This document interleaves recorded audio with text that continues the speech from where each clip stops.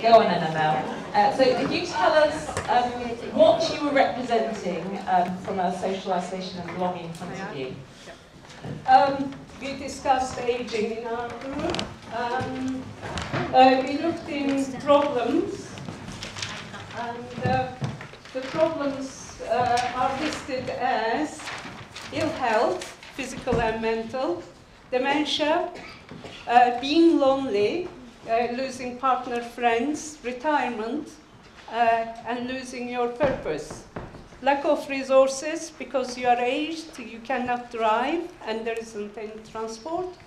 And lack of hope, lack of information, lack of new technology. So that's a long list.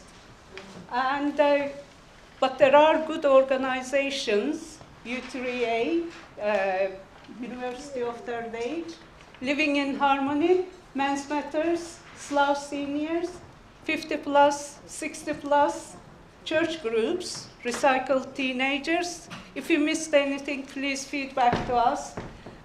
What we came to is that how do we get these groups working together, bridging the gap? Voluntary sector, local authorities, faith groups, and what is the individual's role in that? But there are a few problems in here. We thought of uh, Slough being Slough, so diverse, language is a problem. Not all the groups speak the same language, so they cannot come together. Um, Maidenhead, uh, uh, representative said getting Muslim women out is a bit of a problem, but I don't see Slough has a problem in that because there are Muslim women groups. Uh, transport in the evening is a problem. It's not very safe. Uh, also, where to turn to. If you have a problem, who to go to, and how to convey the message, working both ways. If you are from these or an individual, where to go, and how, how you change, uh, uh, convey your message. And Mr. Gupta said, how faith can be solely responsible. Why, why are we saying how faith can help isolation? Isolation is a universal problem. Why faith is isolated from the whole thing? We should all work together. And uh, I'm talking more than three sentences. so, what do we do as individuals? Don't expect everything from the authorities. The council, voluntary sector, you are an individual, take responsibility. Still, when you take responsibility, start an action, you need a strong leader, at least one. But when that person, since we are talking about aging, when that person is aging, who is going to take over? So you need to nurture younger people. Sam, are you there? And cross-generational work. What if there aren't any young volunteers to take over from you? In that case, work with the organization who work with the young people. So, like EXA and an older group working together. Individually, go extra mile.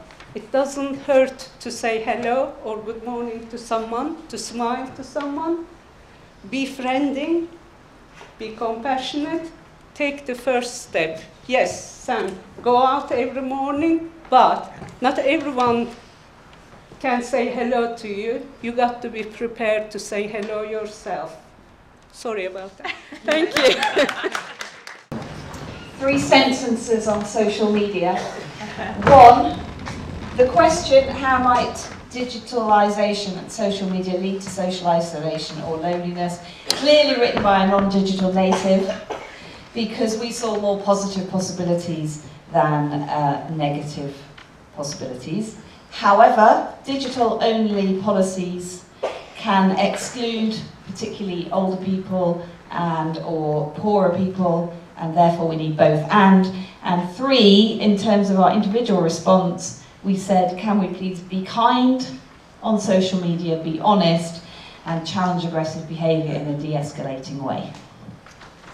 Okay, so we um, dealt with two topics that are twice as long to speak.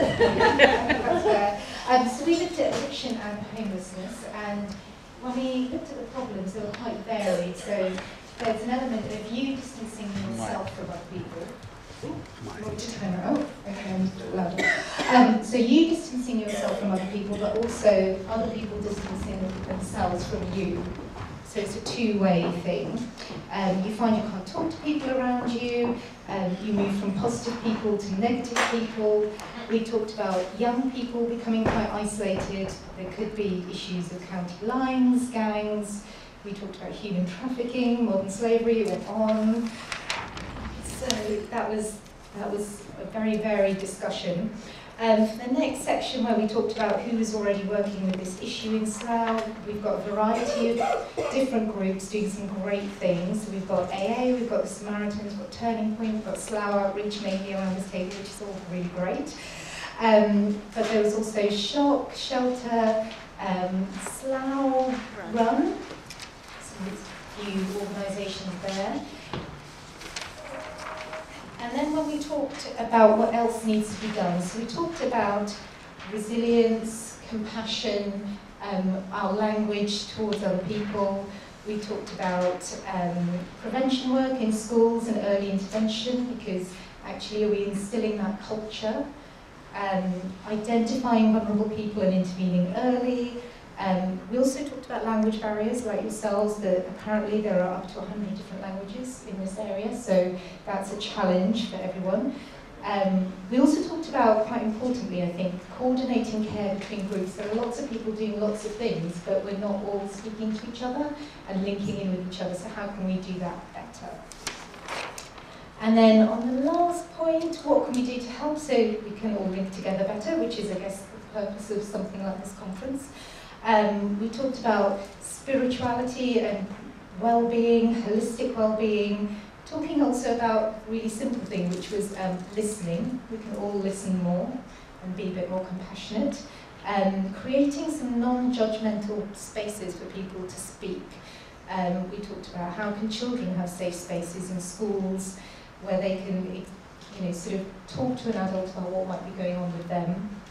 Um, youth centres, community centres, Okay, that was a long one.